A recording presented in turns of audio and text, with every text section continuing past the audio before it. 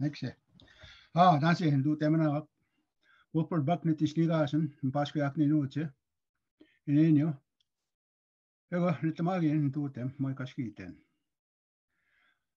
I want to say, uh, my relatives, I'm uh, honored to be allowed to uh, take up part of your day, and uh, I'm honored to be allowed to be asked to share uh, some of the uh, the teachings that were uh, were shared with me. And uh, like uh, Sharice said, I'm from uh, Opaskwayak Cree Nation, north central Manitoba, on the banks of the Saskatchewan River, opposite the town of the Pas. And uh, I'm uh, coming to you from Ness Avenue right now in Winnipeg, Manitoba. And so uh, we're going to be discussing uh, the stars. But the stars we're going to be discussing are uh, not the stars uh, that everybody's most familiar with. And that's uh, going through the educational system, the Roman uh, Greek uh, mythology, and the the constellations therein. R- Rather, we're going to be discussing our people's perspective on the sky. The first thing we should understand is that every culture on the face of the earth looked up at that sky. It wasn't uh, only Ro- Romans and Greeks that had the uh, big idea of to go outside and look at the night sky. Romans and Greeks were the lucky ones who got put into the school curriculum. But everybody understood about that sky because everybody lived under that sky. And it's only common sense that uh, every culture on the face of the earth have their own connections, have their own constellations, have their own names, have their own sacred stories, their own sacred tellings, their own uh, names for, for a lot of those uh, phenomena in the sky. And in Inyo, our people, Anishinaabe, Dakota, Lakota, they're no different. We each have our uh, perspective on that sky, and some of them are similar, and uh, some of them are, are different because uh, they've seen the sky from different environments. They see the sky from different latitudes, different longitudes. They see the skies from uh, from uh, different uh, seasons and different um, ebbs and flows of, of the environment around them and the patterns of the animals were, were, were part of that, and the patterns of the plants, the patterns of the water. So everything tied in because it is our people's view of uh, our reality is a holistic view. It's a, it includes everything, and everything um, has repercussions. Everything you do reverberates throughout throughout our reality. It doesn't matter what it is. Even uh, this this what we're doing here, talking. One of the things we're always told is when we uh, begin to talk, we have to introduce ourselves and uh, to establish where we're from and who we are. One thing I forgot to mention is Boaminigite Tichiga and Tishigasan, Maskwa, Ego Maigan, Ego Mixu, Ego Pinesha, Dutem. These are my relatives. And uh, I am known as uh, Boaminigite Tichiga, the Dream Keeper. And uh, so when, when we see these things, we're, we're uh, not only introducing ourselves to those that are, are present listening, but our, our ancestors that are out there that has passed on this knowledge to us. We're letting them know that we're, we're going to uh, represent their knowledge as best way possible. And we're, we're telling our ancestors because we know they're with us and that uh, the, the knowledge that, that's been brought forward that uh, will be shared as uh, most honestly and uh, most uh, most kindly as possible and um, so this this is uh, why we introduce ourselves in, in that way, in that manner. We're not only addressing our the people in, that are physically in front of us, but uh, we're addressing our ancestors and letting them know that uh, we're going to do the best we know how. So, Achagosak, the stars. The first thing we can understand is uh, Inenyo, Niho, the Cree people right across uh, Canada, right across uh, the Cree people. They're uh, they stretch right from Quebec in the east all the way to uh, BC in the west and into Montana and to the Dakotas, North Dakota, South Dakota, and uh, throughout all the uh, prairie provinces and Quebec, Ontario, um, Saskatchewan, Manitoba, Alberta. And there are four main parts. Uh, there's the Mustachionie Cree in the east. There's the, the Swampy Cree there's the woodland Cree and there's the plains Cree, and those make up the four parts, and that reflects reflective of uh, our name, Inenyo.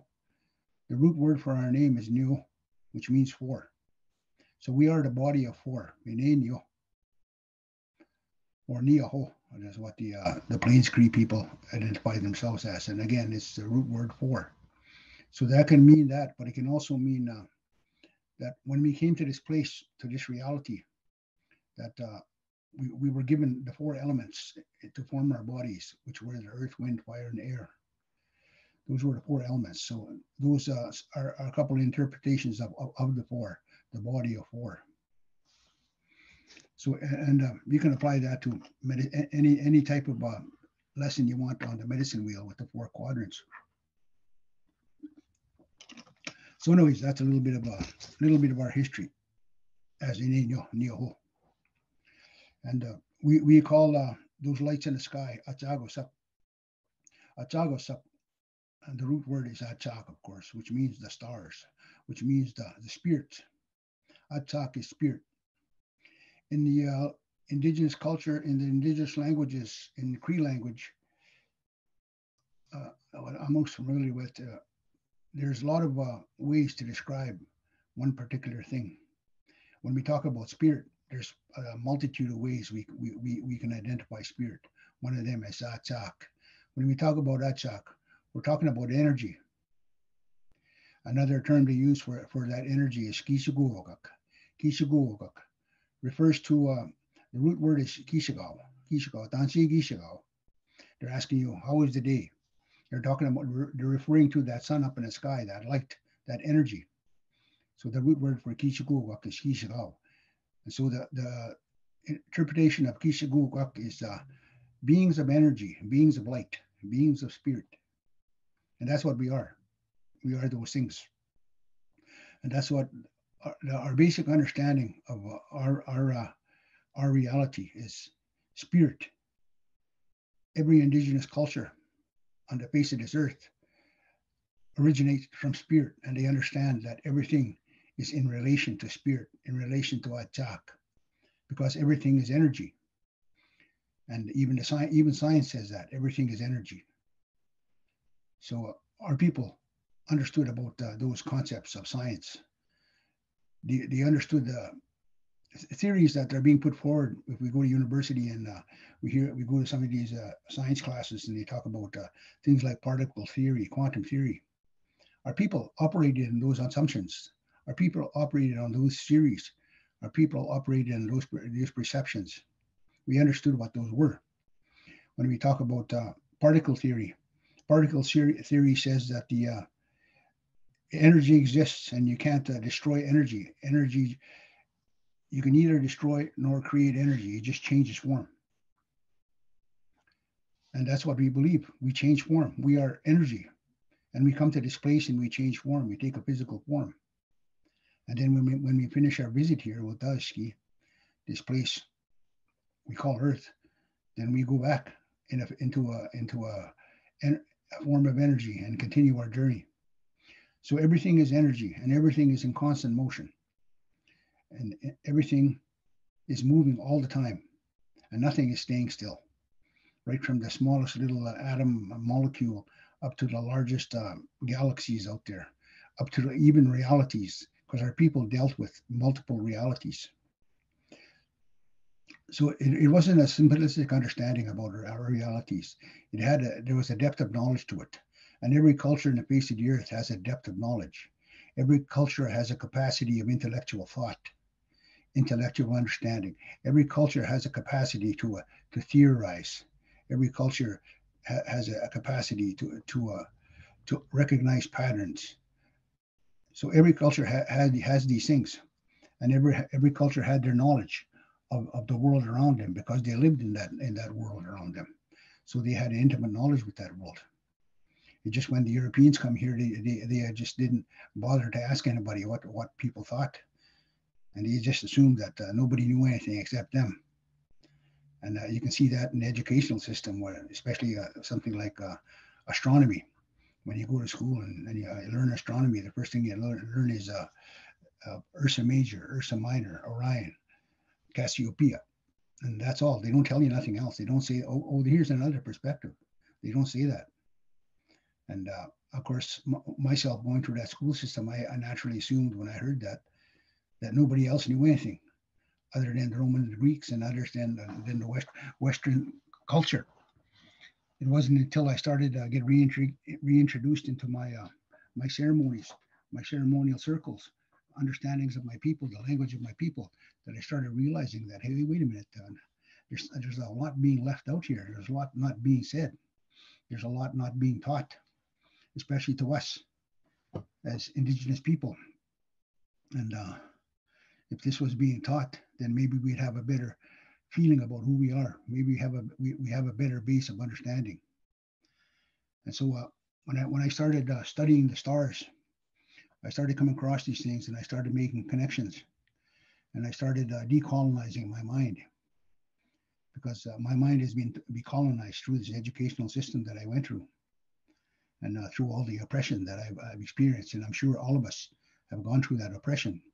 All of us have gone through that experience of being marginalized, of being dehumanized, of being uh, not looked at as a human, as uh, being uh, something uh, to be uh, put, put on the stage when uh, whenever they want to talk about something indigenous.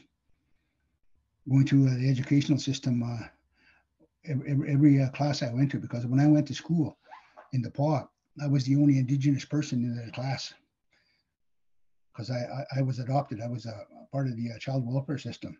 So I went to school in town. I didn't go to school on the res.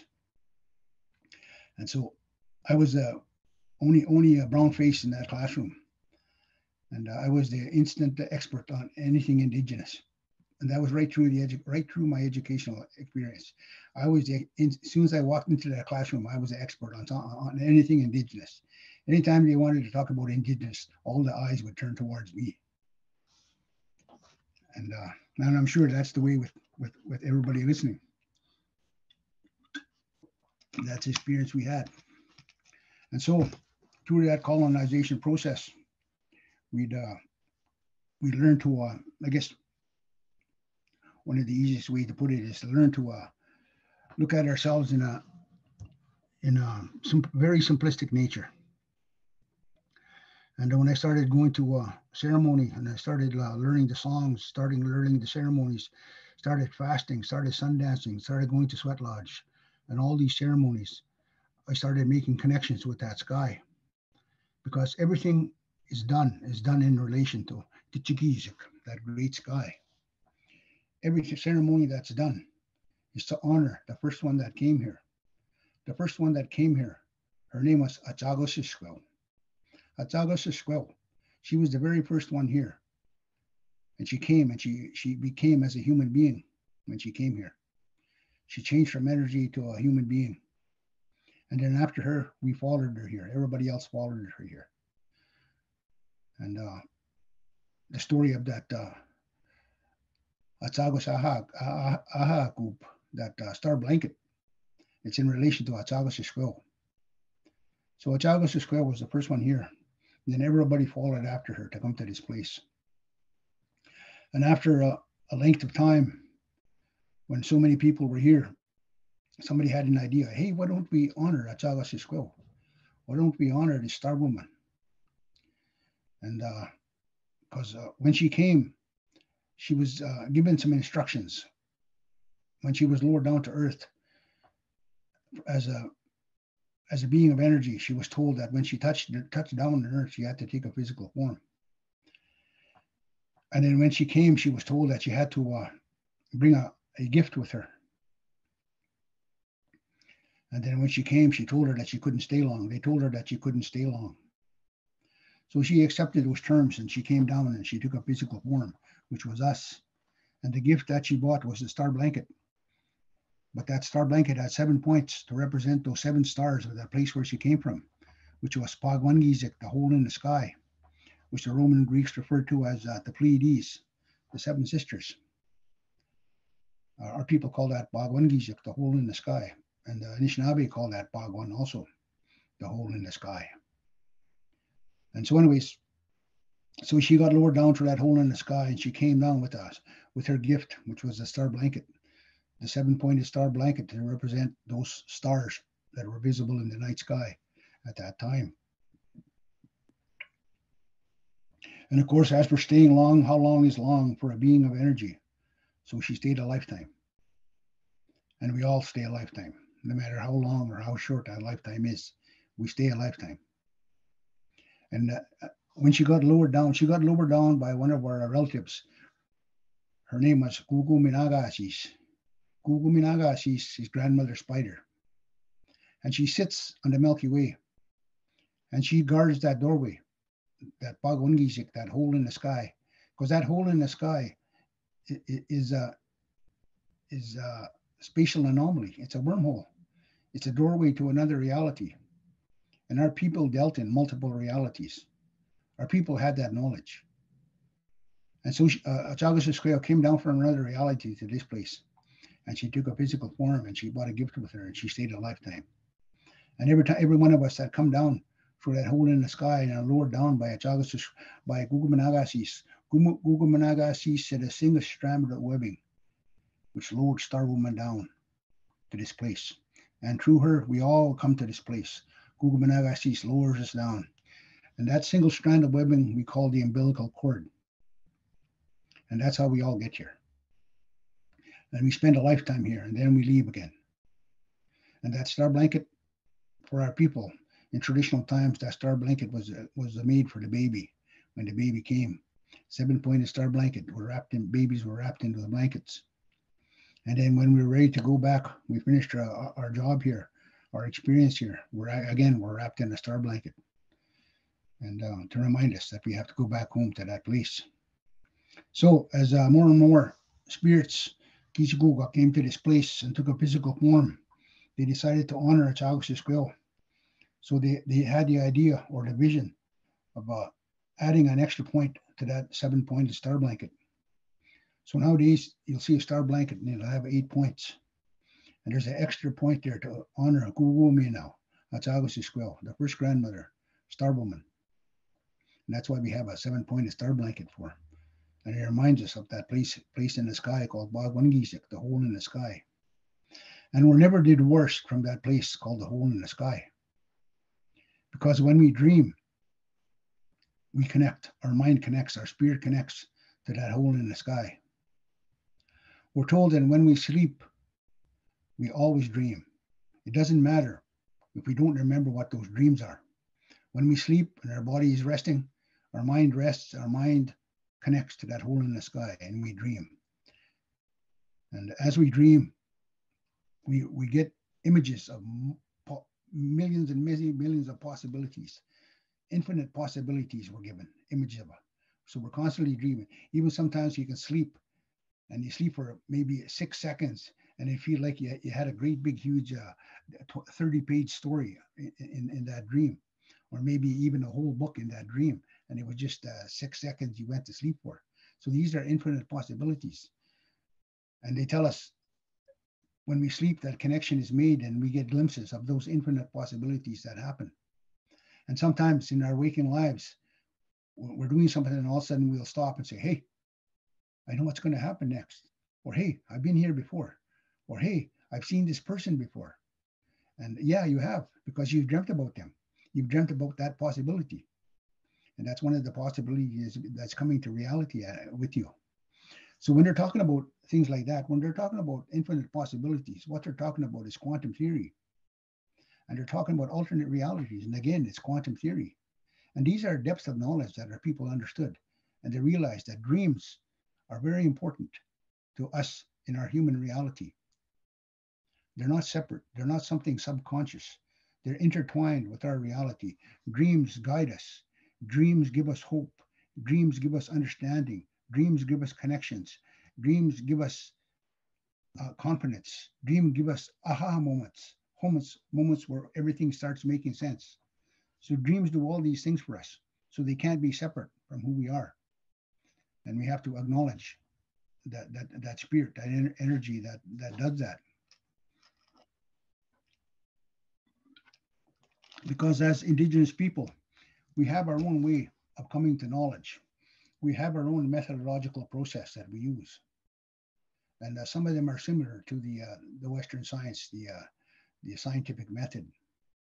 Of course, we use prior knowledge. Every every culture, every human uses prior knowledge and uh, we use uh, pattern recognition. Everybody understands pattern recognition again because they live in a world that they're surrounded, totally immersed in in that reality, and they have to understand that reality. So you, you got to recognize the patterns, and once you start recognizing patterns, you can make predictions, and then you can make hypotheses with uh, all that knowledge that that you already have. But from there, our our methodologies start changing because we, we can uh, identify those things as, as being similar to uh, Western uh, understandings. But at the base of it is Atzak, is spirit. And everything we do is operated from a spiritual perspective. Everything is based on spirit, is based on Atzak. Spirit is there. So one, one way of coming to uh, knowledge is uh, dreaming it's very important that we dream. And it's very important that we acknowledge those dreams. Another way of coming to knowledge is fasting. We fast. Again, we're we're pulling ourselves, we're disconnecting from that reality we're in, and we're slowing ourselves down and reconnecting with the spirit of the land. And when we do that, our mind becomes open to other possibilities.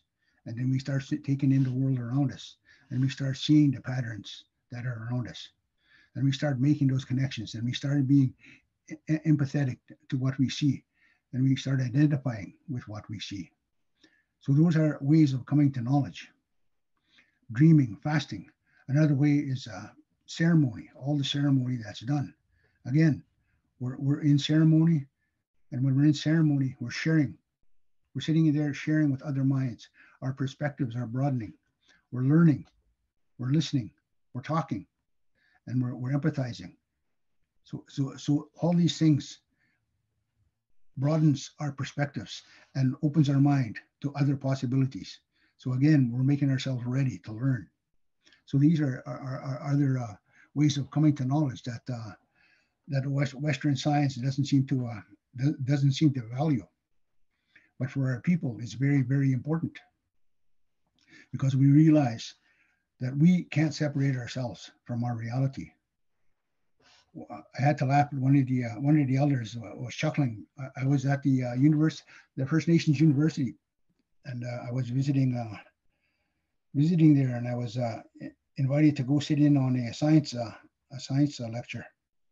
So I was sitting in on a science lecture, and the person giving the lecture was talking about an experiment they were doing, and how they they separated themselves from that experiment. They were impassive observers, and uh, they, they, they, they had tried. They said they, they, they, didn't want no influence happening on what was going on, so they, they sort of uh, disconnected themselves and they just watched. And the elder was chuckling, and uh, and he, he said, "You can't be. There, there's no such thing as a passive observer," he said, because the, the the fact that you're existing in this reality means that you're interacting in this reality. It doesn't matter if you're here or if you're a thousand miles away. You're, you're in this reality, you're in this plane, and every molecule in your body is reacting with everything else around you. And, and uh, it, so it, it, doesn't matter. The fact that you're in this reality, you're affecting something. You can't be passive about that. So that's the holistic nature. The, the elder was just describing the holistic nature of our perspectives and our, our reality, our presence has an influence on anything. Even uh, what we say is uh, has influence. So our elders always tell us you got to be careful, be, be, be very careful what you say, especially when you're uh, there's there's children around, because once whatever that energy leaves your mouth and gets into reality, then whatever you say can can hurt and can damage and can damage a life like for for for for how long as a person lives. So we have to be very careful of uh, what we say, especially when the young people are around, the youth, and uh, watch this. So we're told these things, and uh, they're they're they're uh, they're very real. So these are some of our methodologies that uh, we have to get back to using, and we have to start acknowledging. And uh, every human being on earth dreams. And so every human on earth dreams. So even even the uh, scientists in places like NASA, places like that, though they don't acknowledge it, they they're they're part of that reality and they're part of that dream that dream world. And they come to knowledge that way. Even uh, even uh, somebody like uh, Einstein come to knowledge. He had his aha moment when he had a dream. So we all come to knowledge like that, and we we, we got to start acknowledging those, those uh, important methodologies that we use. One elder told me, he said that uh, he, took me out at a place called Wanuskewin outside of uh, Saskatoon. It's a heritage park, and it's real. It's really awesome place, a real spiritual place. And uh, he took me out there, and we were standing out in the plains one cold September night, looking at that night sky. And he said, if you look up at that night sky, every star you can see with the naked eye, are people had a name for it. There were there were stars that were connected together in constellations, and these constellations had names. These constellations had sacred stories. These constellations had patterns that we recognized. These these constellations uh, filled the sky, and these constellations had many tellings other than just one telling. There was a lot of stories that were associated with uh, groups of stars, not only just one. And he said, due to the historical trauma that happened to our people, 85 up up to 85% of that knowledge base was lost. We, we were we were traumatized into letting go of that knowledge. And uh, the elder said, uh, think of it like this: you have a village of 100 people so there's a village of 100 people, and each person in that village know one word to a 100 word song. So when you get all the people together, they sang that song of 100 words, and everybody contributed. So that represents the total knowledge base of our people, people working together, sharing that knowledge. So one morning you wake up and 85 of them are gone. And you're left with 15 people standing around there in, in shock traumatized and they're trying to put together that reality that they knew prior to that 85% disappearing. And so that's what happened to our people. We are operating at 85% knowledge base, 20% knowledge base maybe now. And uh, we lost that sky. And we lost our reality. And so we're in the process of getting that reality back. We're in the, process, in the process of reclaiming that sky. We're in the process of reclaiming our language. We're in the process of reclaiming our rights. We're in the process of reclaiming our our uh, our intellect, our uh, intellectual capacity. We're in, in the process of claiming our sciences. So we're in the process of doing all these things. And the elder said, "But don't be don't be scared," he said. He said, don't, and don't be disheartened because the way that knowledge was gained, those methodological steps that our people use to gain that knowledge, we still do. We still fast. We still sundance. We still do ceremony. We still share. We still dream. We still do all these things. So that means that knowledge is waiting for us. We just got to get back at it and start doing these things again. So it's out there. So that's your job. The young people, that's your job. You got to get out there and start doing your fasting, going to your ceremony, singing your songs, and you'll make those connections with that reality, with your your reality. And part of that is Achagosak, those stars. Achagosak, those stars up there. So if you can bring up the first picture, we'll uh, start there. like I said, I said when I started, so this is the first uh, knowledge that's been exposed to us growing up and going through the school system. This, of course, is the Roman Greek uh, understanding of the sky, and these are the constellations in our northern hemisphere sky. And uh, we acknowledge right away we can readily identify things like the Big Dipper, part of our Ursa Ursa Major, Ursa, and uh, the Little Dipper, Ursa Minor, and Orion, and uh, Cassiopeia, the, the big W in the sky, and the Milky Way running across the sky. And we can identify these things. But uh, we, we don't know anything about uh, any, another perspective. And so once we start finding out about that, that, that sky and the other perspective, then we start finding out about uh, our people's understanding of science, our people's uh, understanding of uh, of things such as quantum theory, such as particle theory, because these things are all around us and we use them every day. So if you look at this map, right in the very center of this map, there's a the Little Dipper, which they call Ursa Minor. The end star of the handle of the Little Dipper is Polaris, the North Star. And our people call that star Kiwetin. Kiwetin from the word Kiwe, as in Matigiwe. That's what they say to you know, you're visiting too long. How? Go home now. So that's the going home star, Kiwe Another name they have for that star is Ekagachet. Ekagachet means like it stands still because that's the only star in the sky that doesn't move. All the other stars dance around that point in the sky. In our northern hemisphere sky, that that point stays still, and all the other stars dance around it. So they call that Ekagachet. It's standing still. And of course, uh, so if we can get a picture of that uh, time time lapse with all the stars dancing around, if I sent you that. So there's the Big Dipper, and there's the pointer stars to find the Big Dipper. So there's the time lapse picture. So that little dot right in the center there is Kiwetin. it. So that star stays stationary in the sky. And all the other stars dance around it. So all these streaks that you see surrounding that dot there are star trails. And this is a time lapse picture taken over a period of uh, 12 hours in our northern hemisphere sky. So that point right there represents north. Kiwetinua. So when they were traveling at night, they find Kiwetin by using that, that Big Dipper and those pointer stars. And then if they wanted to go east, they turn at a right angle with their left shoulder aligned with the, with the North Star. And that means they'd be facing east. So as they did that, they faced east, they pick a landmark in front of them and they walk towards that landmark.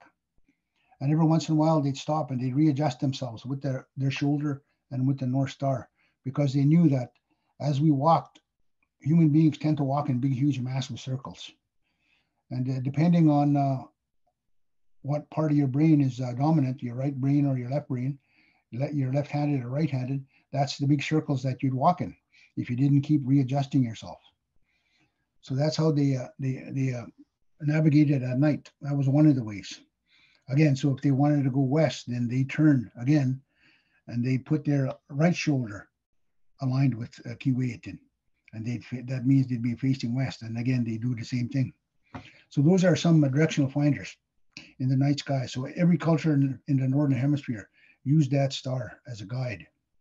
So every culture has a name for that star, not only Polaris, and not only Kiwetin.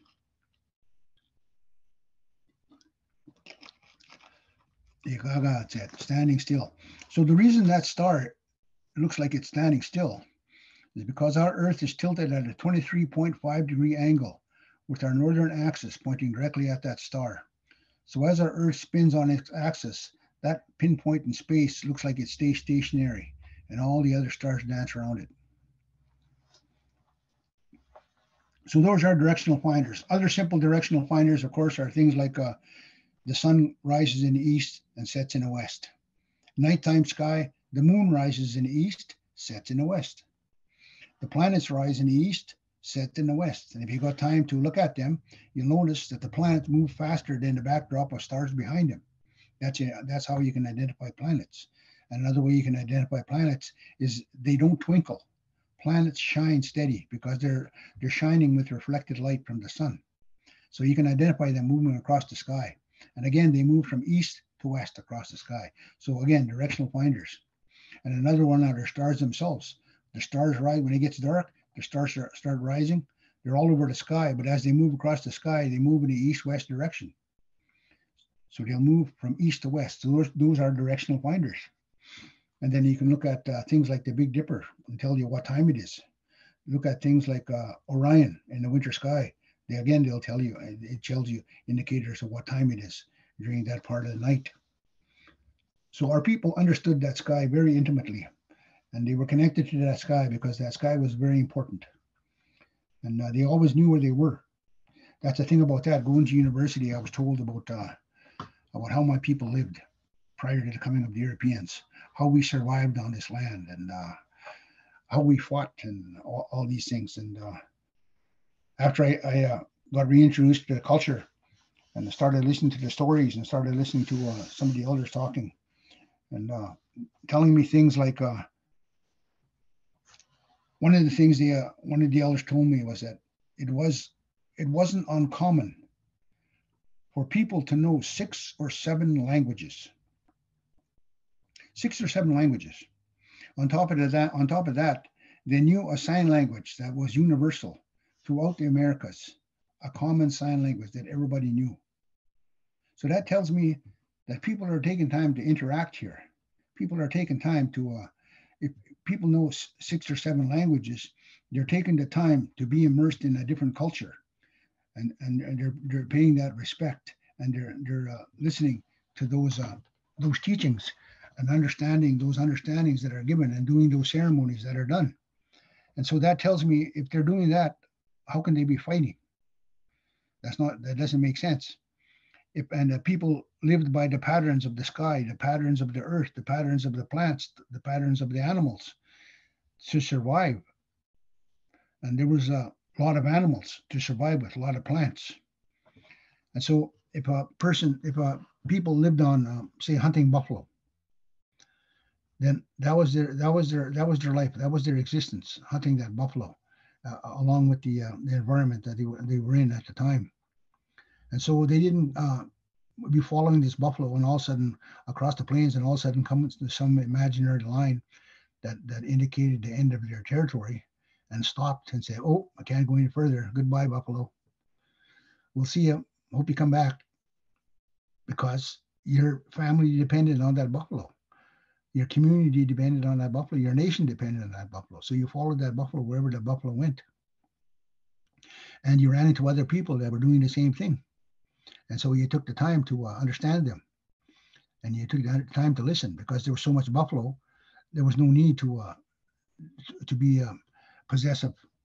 There was no, no need to uh, claim ownerships because everybody didn't own anything.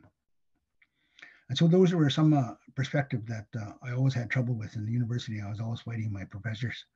They were telling me all these things about how we lived. And these were white professors telling us, us native people, how we lived and what we did. And to some extent, that's still happening. But, anyways, so there's Kiwetin and the North Star. The thing about uh, our, our, our languages is that uh, there's multiple understandings. For instance, if you look at uh, the East, if you bring, you could bring up that uh, Cree map, that star map. So this is a Cree star map, and on the background of this map, map you can see the Roman Greek uh, mythology, and in the foreground you can see some of the Greek, Greek uh, Cree in the Cree stars. And uh, to the east we call Wapanuk or Pewapan. Pewapan, Wapanuk refers to the morning star, the coming dawn star, Pewapan, Wapanuk. And uh, that's not a star at all, but it's the planet Venus. Another name we have for east is uh, Sakash still. Sakash still where that sun rises. So, and then you look to the south, and in the south, uh, it's called Osawan or, or Sawanuk. And it refers to the color yellow because in the south, in the summertime, and uh, just over the horizon, just as the sun comes up, there's a bright, bright star that's shining in the south, and it's yellow. So that's why we call it Osa Osawanuk or, or that yellow star. But it's not a star at all. It's the planet Jupiter. so that's the planet and, and represents the south. And of course, another name is Apastigishigal, like uh, noon noontime, where the sun sun hangs highest in the sky. And then you look to the west, and Nagaapan, they call that Nagaapan, Nagaapan, the disappearing light, and it, it refers to that uh, that star. As as uh, that sun goes the sun goes down, there's a star in the sky. At some sometimes in in in the in the sky, and it's the first star you see before it gets dark, and that's uh, the evening star. And again, it's the planet Venus. So Venus is either the morning star or it's the evening star, and it all depends on which side of the sun it's on. Sometimes it's in front of the sun, and if it's in front of the sun, then that means it's the, the last star you see as it gets light, the morning star. And if it's behind the sun, then it's the first star you see in the, in the nighttime as it gets dark. So Venus is either a morning star or an evening star.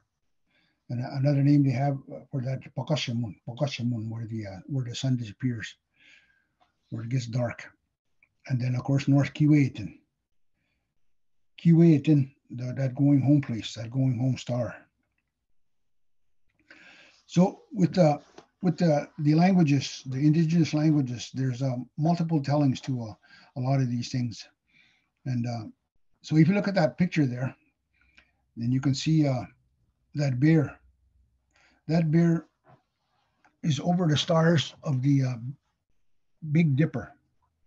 Just the Big Dipper. It doesn't include uh, the stars of Ursa Major or Ursa Minor. Just the stars of the Big Dipper themselves. And that that's bear is facing in a dip opposite direction as Ursa, Ursa Major. And the, this bear doesn't have a tail. So the head of the head and neck of that bear are the handle of the dipper and the body of the bear is the bowl of the dipper. And uh, so I, I, start telling the stories, especially because uh, when I started this uh, journey of learning about the stars, uh, a lot of uh, astronomers heard heard about what I was doing, and a lot of uh, a lot of I guess you call them am- amateur astronomers. Heard of what I was doing, and these amateur astronomers they have an organization called the uh, Royal Astronomical Society of Canada, and they got chapters all over in major cities all over Canada, and they have star something called star parties every summer in the dark. They, they, they gather they gather at various uh, sites that which uh, they refer to as dark sky places, where there's no light that, that interfere with their looking looking at the sky and they set up telescopes. Sometimes they set up 30, 40 telescopes out in a big field and they talk about the stars. They're at it two, three days sometimes. And so they heard about what I was doing and they invited me to go speak. So I went to speak about uh, some of the uh, the Cree, that's how was uh, the Cree stars. And uh, so I, I, talked about the bear, Mista Muskwa, the, the Big Dipper.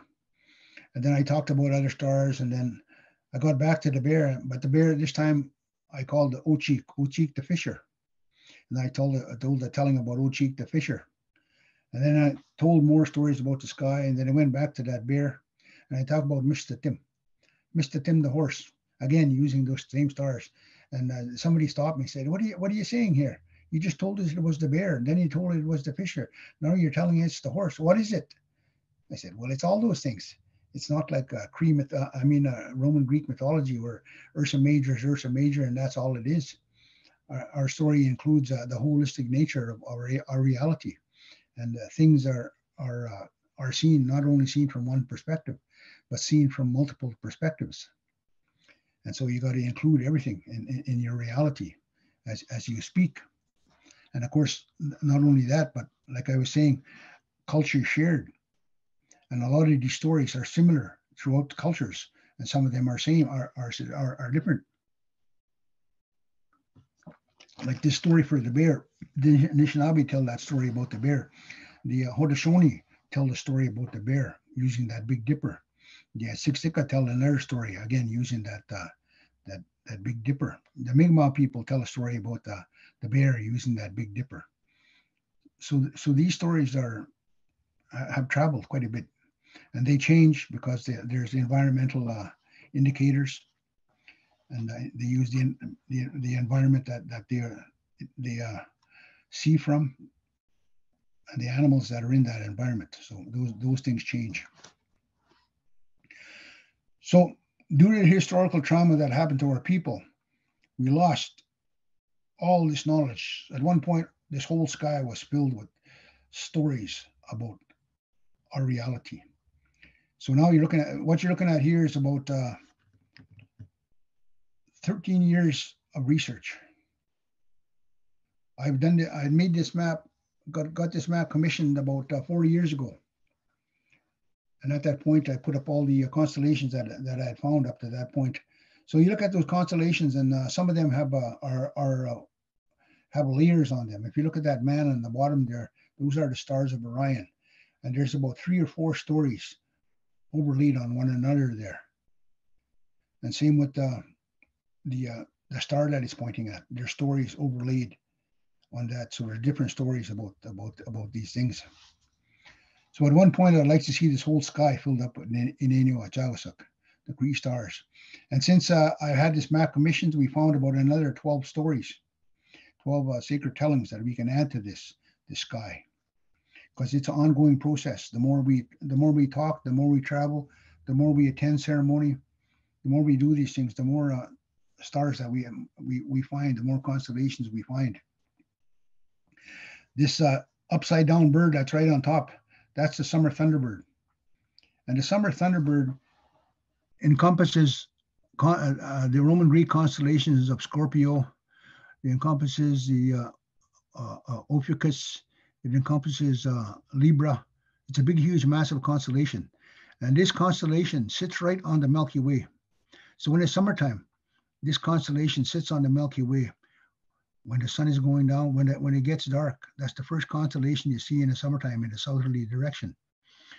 And if you've ever been to a Cree Sundance, the uh, the Cree Sundance Lodge is situated where the door that we use is a southern doorway.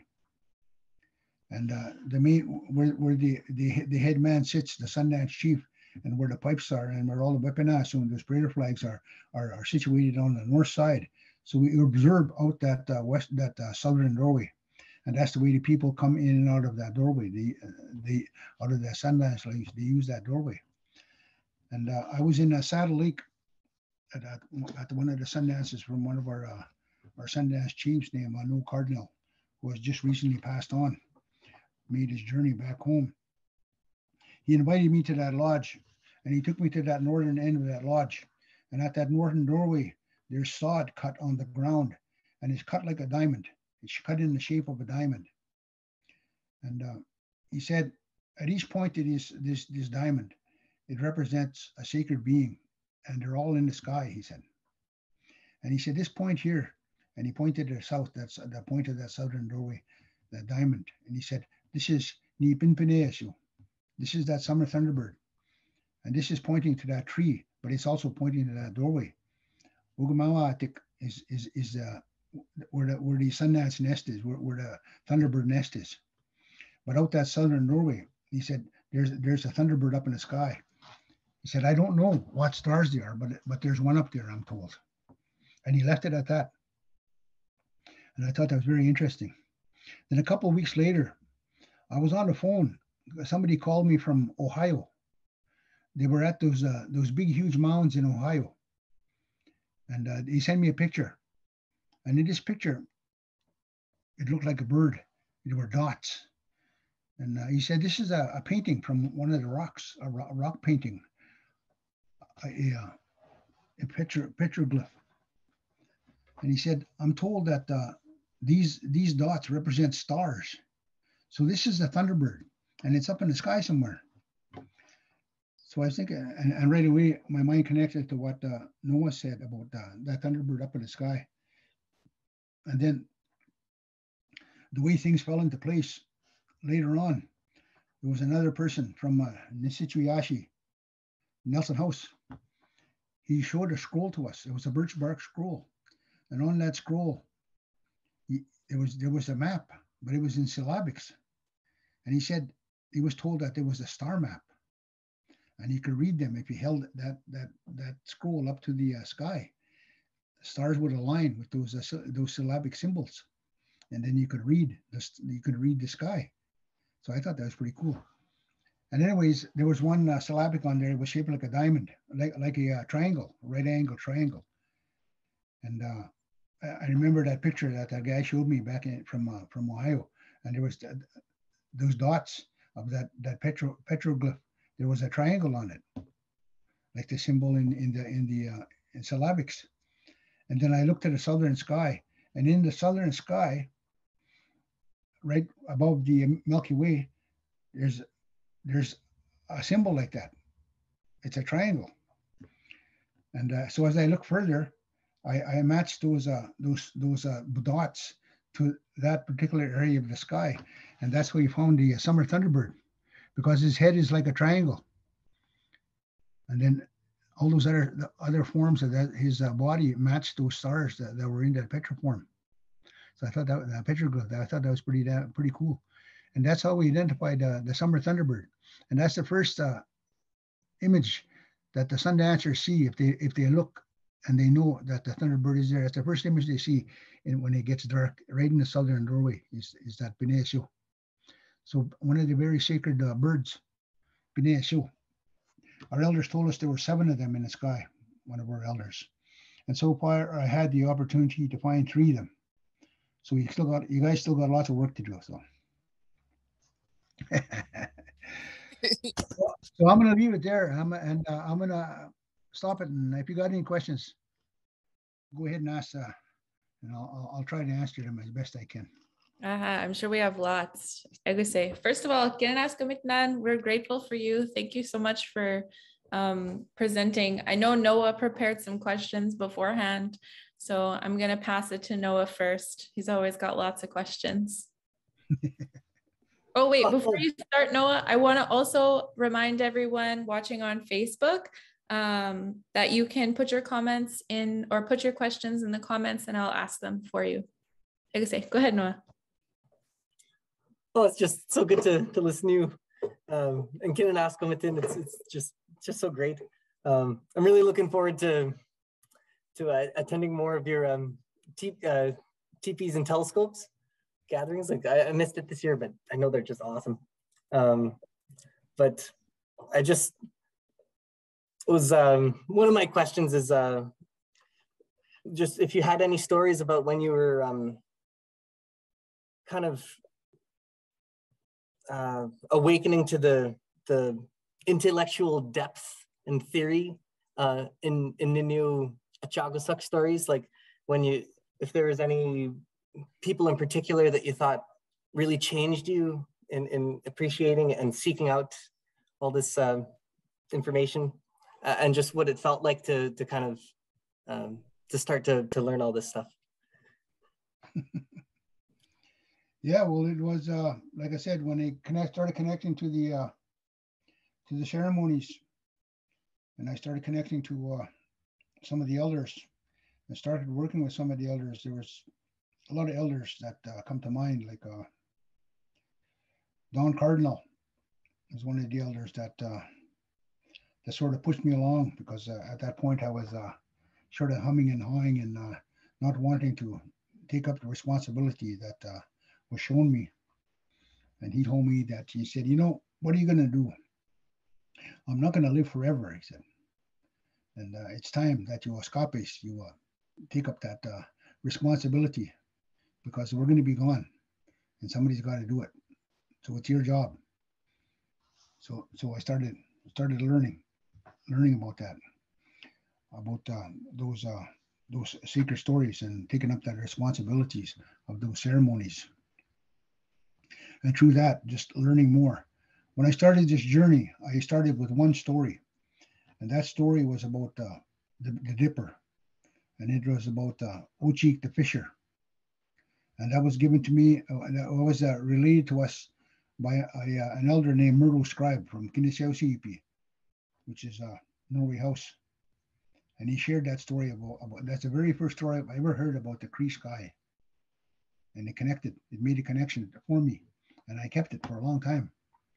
And then uh, slowly, I, I, was up in uh, one time. I got hired on by Manitoba First Nations Resource Center as a, as a uh, science facilitator.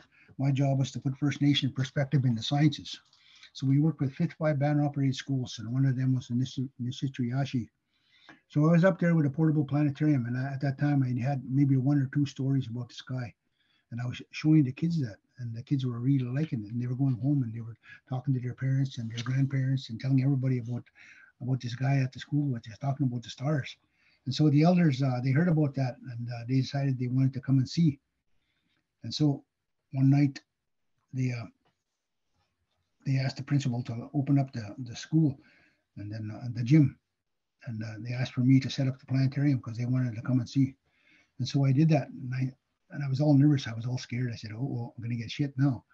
I said, uh, and so they showed up, and uh, so uh, and they went in, and I, I, sh- I, showed them what what I had up to that point. And then after it was done, they left, and one of them stayed behind, and uh, he came up to me and he said, "You know, what you're doing there you got to keep doing. Because what you're doing there is you're showing the kids the connections to our reality. You're showing the, you're showing the kids their history. You're showing the kids their their knowledge. You're showing the, the kids their culture. You're showing the kids their ceremony. You're showing the kids all these things and they're not getting that in school. You got to keep doing this and he said don't worry if you're not meant to do this then things will happen he said but if you're meant to do this things will be put in your place, people will be put in your place, and you won't have to work hard to get these things. They'll come to you. And that's what happened. I didn't have to work hard to get these things, they came to me. They came to me through ceremony, through dreams, through people sharing, through me going through all those methodological processes that we went through to gain that knowledge. They, they, they've come. And, uh, so I, I, realized, yeah, so I, I have a responsibility to to do this. And uh, somebody else will will will, uh, will step up because I'm uh, I'm getting old now. So somebody else has got to take over. Well, I'm so thankful that you're you're tending the tending the fire for this wonderful thing. Well, yeah, and and the teepees and telescopes. Uh, we had uh, Siksika people from uh, teepees and telescopes this past uh, October, and we had a Yaqui person from uh, from uh, southern states and he they all shared the same story about uh, they used the Big Dipper. So so the people attending they saw they heard of, uh, four perspectives on that those just one group of stars from our people's perspectives. So that was pretty cool. And the Siksika people asked if they could host the uh, teepees and telescopes next next September in their territory. And I was just last week I was over there and they picked the site, so we went and did ceremony at that site to bless it. So next September 23rd, 24th, and 25th, that's where teepees and telescopes is going to be out in the mountains. Oh, right on. I was there. Um, I was there this year on the last day, so I was able to hear some yeah. of that. It awesome. uh-huh. I hope I can make the next one too. Oh yeah, sounds like a road trip. Uh-huh. Yeah, yeah, we got to make a road. Hey, they got dorms over there at that site. if you get there early, you can be able to stay in the dorm. Mm-hmm. Well, they're going to be they're going to be setting up about twelve teepees. They said. Cool, right Nice. Well, we're over time now. I just have one last question. Um, if you have any advice for people who are starting to connect with Achagusak, do you have any advice for those people who are starting to do that work? Yes, you have to go outside and you have to familiarize with the stars. That's mm-hmm. what you have to do because right now we divorce ourselves from that sky. We're too busy in our, in our little world with all the distractions, walking around with the phone in front of our faces like this all the time. We're looking at screens, and we have to uh, get away from that. And uh, if you want to look at uh, a screen, get go find yourself a portable planetarium or go, go inside a big, huge uh, planetarium and study that sky. Because you got to be familiarized with yourself with the sky. And once you do that, you'll start seeing the patterns and you start recognizing things. Then you'll start making connections. And then go to ceremony. Fast. Dream. All those things. Do all those methodologies that our people did to regain to have that knowledge so you got to reclaim that knowledge